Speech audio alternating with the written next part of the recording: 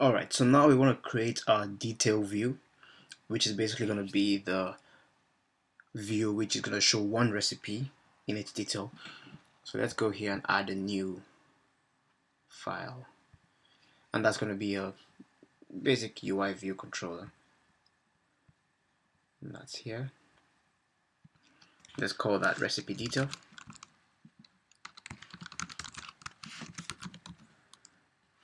And then change that to a UI view controller. And then we want to have a save for the user interface. Save that in the Foodie folder. Well as you can see normally I would actually group all this into groups so it would be easier to find later but right now we just want to get to the to the nitty gritty you know get the, the view out and, and um, get our application out there. So um, now we have a view. That's a recipe detail. So what this is gonna have is gonna have a large image for the dish. Let's pull a UI image view onto the stage. Uh, it's kind of too big. Let's size that. Let's make that smaller. This is gonna be a pain. Okay yeah that's better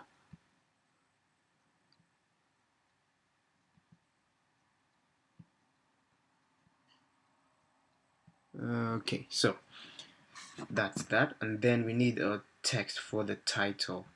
I would say let me put the title below the image. So let me drag that up a little bit. And then drop the text for the title there.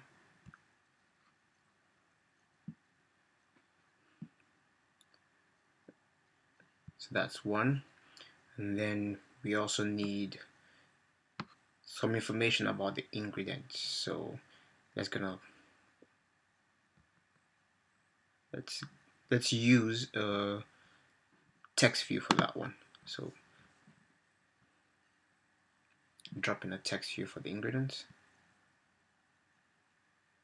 And then we're good to go I think. Let's just give that some information so that it looks better. That's that and then uh, I need some ingredients text so let me go copy text from an app I had before. Finished version of the app.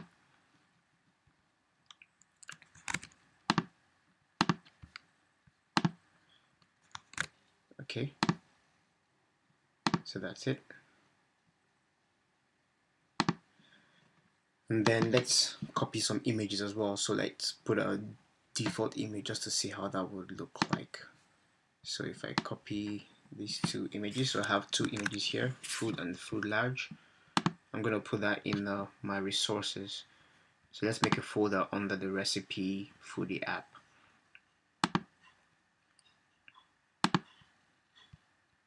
So I'm gonna make a folder here called resources. And then paste those two images in there I'm going to add the, the resources folder to my project. Add files to free. Say resources.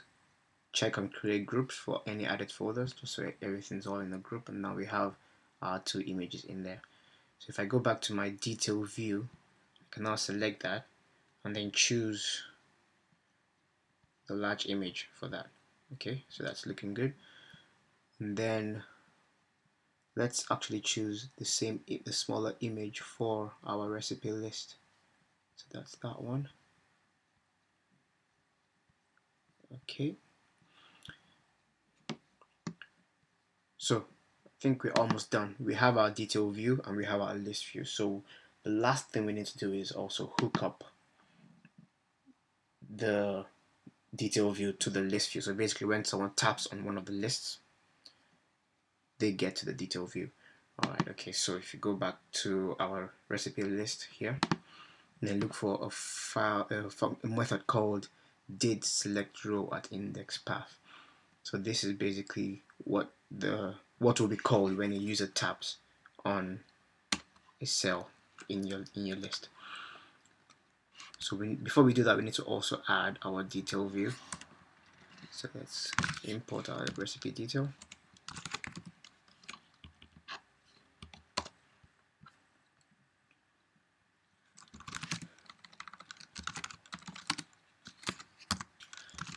So we create a new instance of the recipe detail here. Let's call that detail view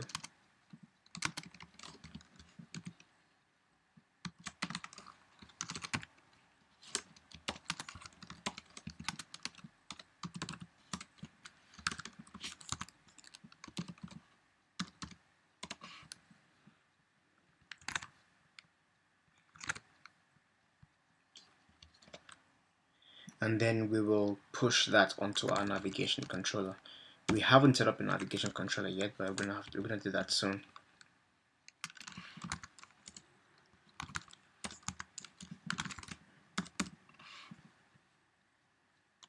And I think that's all we need to do.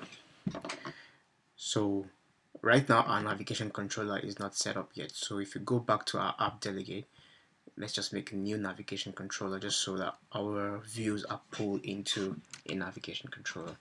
So if I make a new navigation controller here this is in the did finish launching with options function by the way.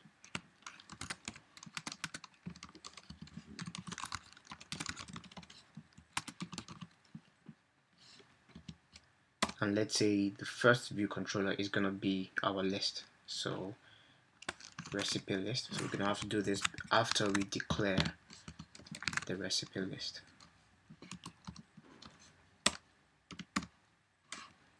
Okay.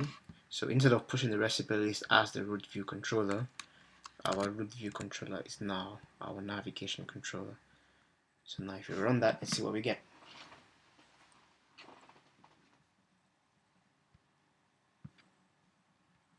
Okay so this is our list.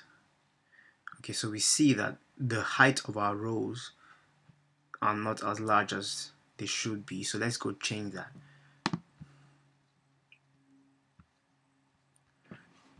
So this will need to be done in our recipe list view controller.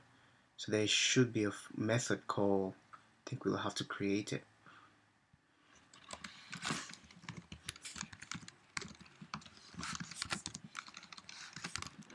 so it's called height for row at index path.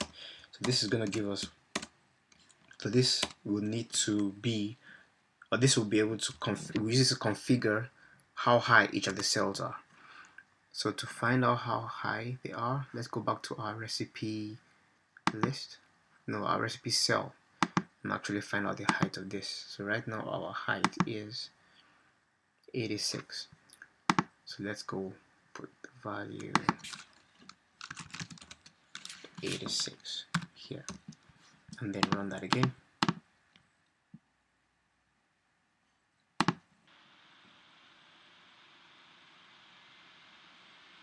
Okay so now we see that our lists are actually higher now so that's spaghetti means. We can see our navigation controller now showing up there. Then we tap on that and then we get a detail for the recipe. We can see that the image is a little bit stretched there. We can change that by setting by changing the settings of our image view. Let's do that. So if you go to recipe detail and I say this should be the mode. We need to set the mode. So if you set the mode to be aspect fit no actually aspect fill. So this is going to fill up our image but then still keep the dimensions of the image. So let's stop that again and then run the application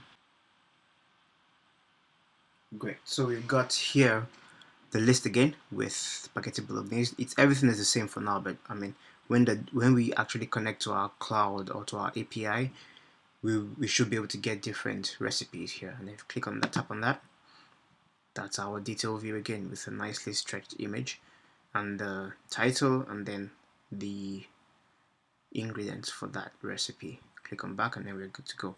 So the next step is to now add the design to this application. So now we want to make sure that everything looks all neat and nice and then we can connect to our cloud server and get some real recipes. So that's going to be in the next video